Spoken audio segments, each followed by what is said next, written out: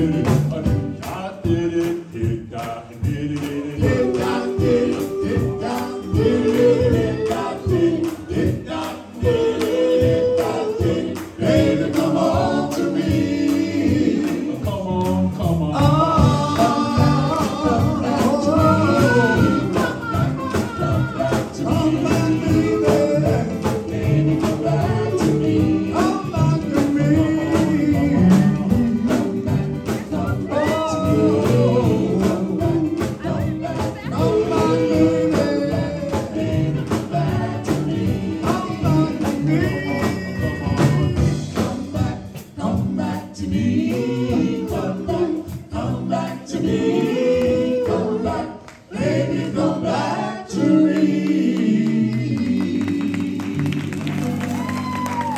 Keep it down again, ladies and gentlemen.